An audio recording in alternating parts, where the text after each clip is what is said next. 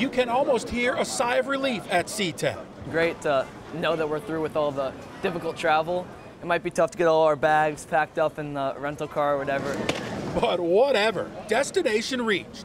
We're all completely drained. 16 year old Zachary Lecky and his family started in Iowa, drove to Minnesota to fly Delta, then the outage hit. So they drove 16 hours to Bozeman, Montana. We're seeing some family up here in the Seattle kind of area. And so we were really hoping coming out of Bozeman that nothing bad would happen, but we knew we had two flights.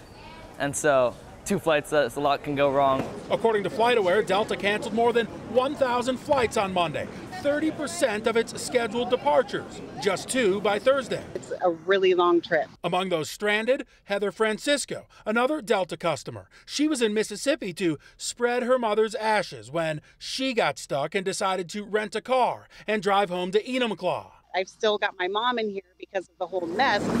The Leckys have seen it firsthand. Everyone's scrolling their phones looking for the next available flight. And of course, there's not going to be one that you can get for under $1,000 at that time.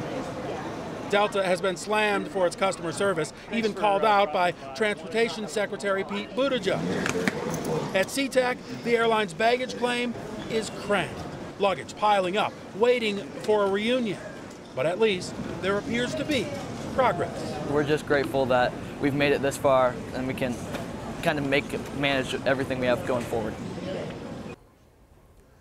In a statement, Delta said that customer service remains its top priority and urged its customers to use its online submission forms to make any complaints or to uh, get anything back that they feel as though they may be owed. This here is the real problem. Airports across the country, including here at SeaTac, bags upon bags just piling up at all these airports that travelers never made it to.